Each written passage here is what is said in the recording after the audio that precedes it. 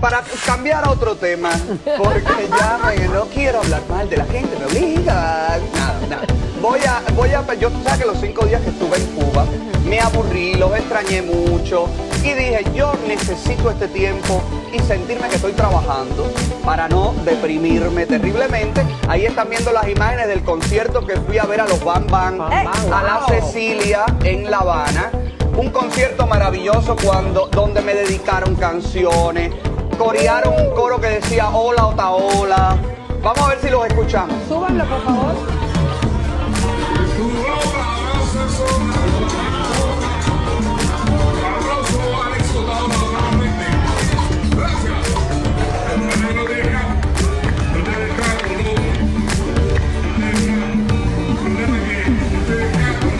Ahí atrás de mí, Aimee Pen, una actriz súper conocida en la televisión. ¿Quién, Yo te quién digo, estaba allá atrás de ti que no te la esposa de Juan Formel, Ah, la lindo, chica rubia de, de Samuel Formel, perdón, el hijo. el hijo, sí. Eh, una chica rubia, hermosa, maravillosa. Entonces, ellos, eh, ahí cuando fui a este concierto, yo coordino la entrevista con Samuel Formel, que hoy por hoy es el director, el heredero de esta agrupación que tiene más de 40 años de trayectoria, ganadora de premios, los, de premios Grammy, los Rolling, conocida en Cuba como los Rolling Stones y en el mundo entero de la salsa. sí.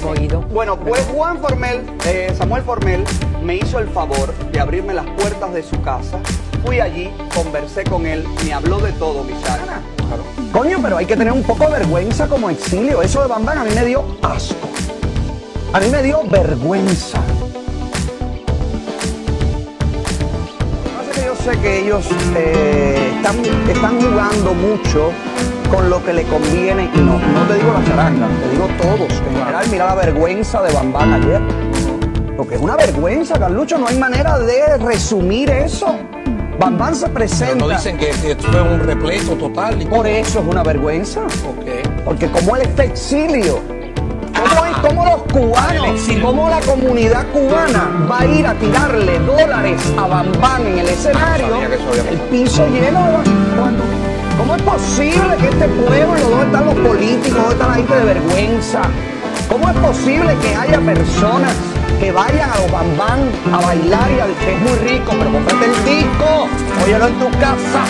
Tú tienes que tener un poco de dignidad, coño, porque no nos votaron a patadas de Cuba, no nos fuimos por la miseria, por el hambre. Bam Bam representa eso. Bam Bam representa el hambre, la miseria y la falta de libertad. Fue total. No, no, no, los dos pisos, la gente como loca. sabes, yo creo- A ver si la gente. Y el, el exilio del pan con bistec. Que es una cosa estomacal asquerosa, que llega el momento en que ya tienen cadena de oro, tienen comida, tienen barbecue todos los fines de semana y siguen pensando con el estómago. Ahí, aplaudiendo como focas a la misma gente que. Coño, pero hay que tener un poco de vergüenza como exilio. Eso de Bam Bam a mí me dio asco. A mí me dio vergüenza. Y me da- Bueno, para cambiar a otro tema, porque ya no quiero hablar mal de la gente, me obliga. Nada, nada. Voy a, voy a, yo, tú sabes que los cinco días que estuve en Cuba, me aburrí, los extrañé mucho y dije, yo necesito este tiempo y sentirme que estoy trabajando para no deprimirme terriblemente. Ahí están viendo las imágenes del concierto que fui a ver a los Bam Bam, Bam Bam, a la wow. Cecilia en La Habana. Un concierto maravilloso cuando, donde me dedicaron canciones, corearon un coro que decía hola otaola. Vamos a ver si los escuchamos. Súbanlo, por favor.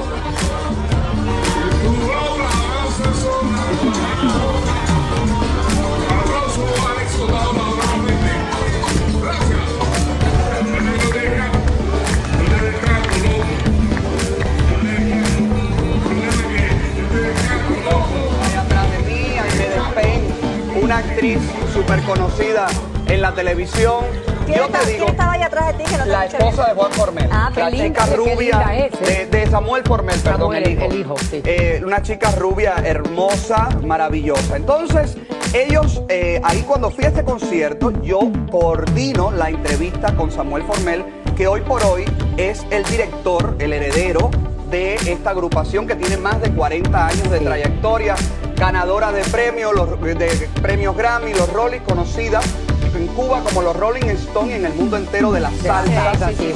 Bueno, pues Juan Formel, eh, Samuel Formel, me hizo el favor de abrirme las puertas de su casa. Fui allí, conversé con él, me habló de todo, Michari.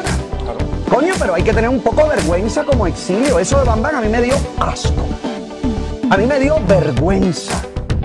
Eh, los cubanos americanos que por eh, los cubanos americanos que por miles de razones viajan a Cuba, razones humanitarias, razones familiares, razones eh, de múltiples índoles que son respetables todas.